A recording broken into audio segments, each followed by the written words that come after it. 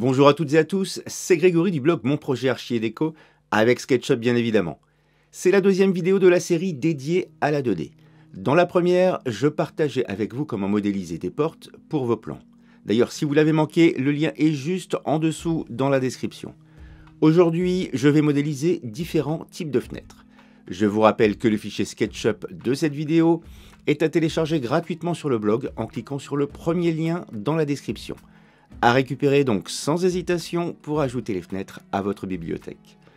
Voilà, j'espère que vous êtes prêts à modéliser en 2D. Allez, c'est parti Alors avant de commencer, on va voir de quoi est constituée une fenêtre.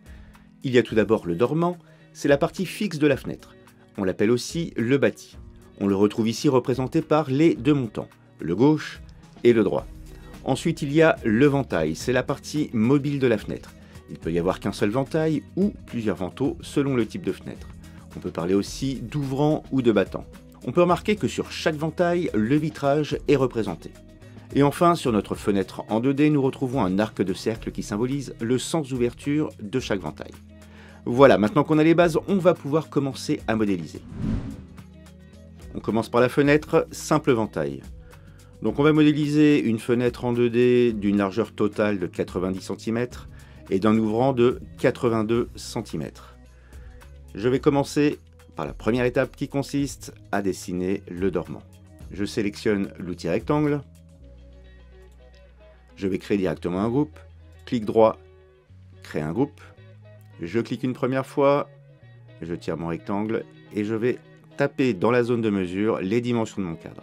Je suis en millimètres, je tape 900 point virgule 60 et je valide avec la touche entrée. Je passe en mode sélection et je clique hors de mon groupe pour en sortir. Je passe à la deuxième étape qui est la modélisation du ventail.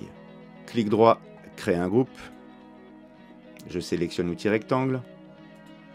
Je clique une première fois, je donne la direction de mon rectangle et je tape les dimensions de mon ventail. 820, point virgule, 60. Je valide avec la touche entrée. Je passe en mode sélection et je clique hors de mon groupe pour en sortir.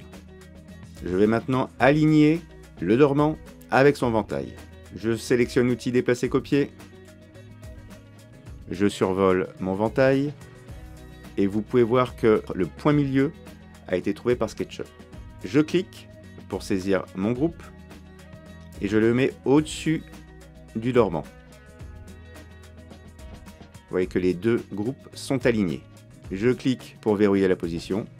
Mes deux éléments sont alignés. Maintenant que mes deux éléments sont alignés, je vais pouvoir éditer le dormant. Je passe en mode sélection. Je double-clique sur mon dormant. Je sélectionne l'outil rectangle.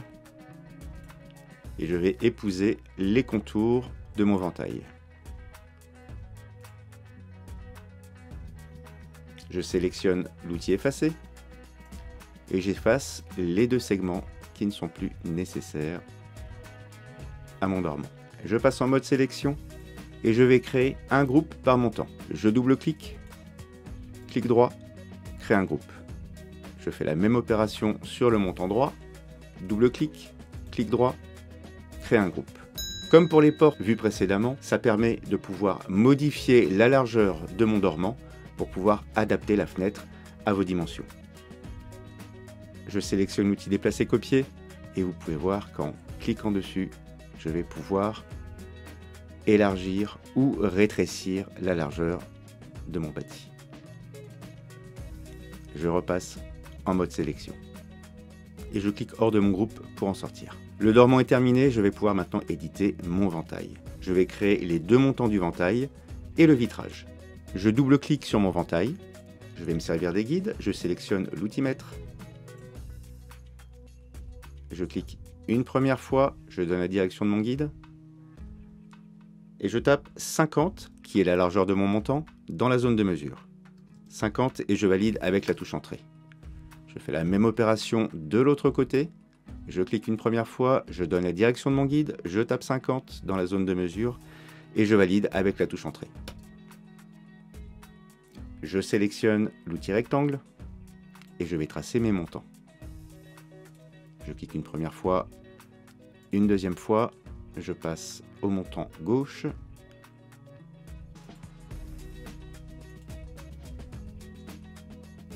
Voilà. Il ne me reste plus qu'à modéliser mon vitrage. J'ai déjà l'outil rectangle sélectionné. Je survole le montant gauche pour trouver le point milieu.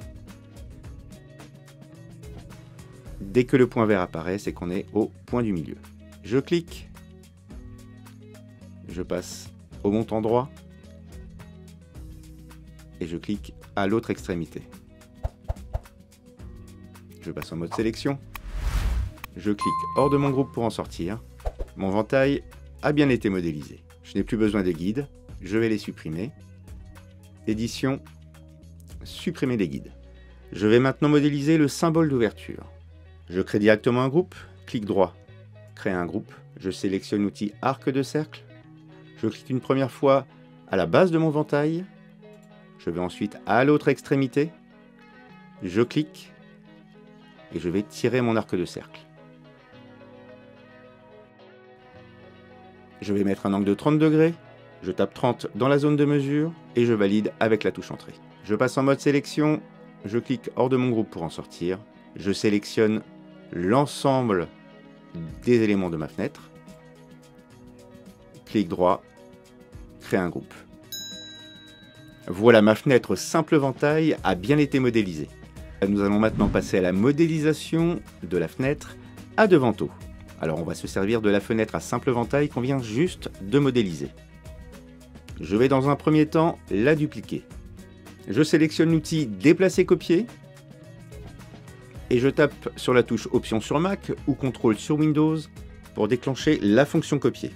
Je survole ma fenêtre, je clique une première fois, je déplace la fenêtre qui est dupliquée et je clique une dernière fois pour verrouiller sa position. Je vais maintenant éditer ma fenêtre. Je passe en mode sélection. Je double-clique une première fois sur ma fenêtre et une deuxième fois sur mon dormant. Je sélectionne mon montant gauche et je le supprime, soit en tapant sur la touche supprime de votre clavier, soit en faisant un clic droit, effacer. Je vais sortir de mon groupe, je clique à l'extérieur, une première fois et une deuxième fois. Je vais maintenant dupliquer la fenêtre que je viens d'éditer. Je sélectionne l'outil Déplacer copier. Je tape sur la touche Option sur Mac ou CTRL sur Windows. Je clique sur ma fenêtre. Je la déplace. Et je la raccorde de l'autre côté de ma fenêtre. Je clique pour verrouiller la position. Je survole ma fenêtre. Je fais un clic droit. Retourner le long de l'axe rouge du groupe. Je passe en mode sélection. Je sélectionne mes deux fenêtres. Clic droit, créer un groupe. Et voilà, ma fenêtre à deux vantaux a bien été modélisée. Vous connaissez maintenant les différentes étapes pour modéliser vos fenêtres en 2D. Je vous propose donc dès à présent de télécharger le fichier SketchUp en suivant le premier lien dans la description, d'ouvrir une session et de reproduire la vidéo sans attendre. Dites-moi en commentaire si vous en voulez plus sur la modélisation en 2D avec SketchUp.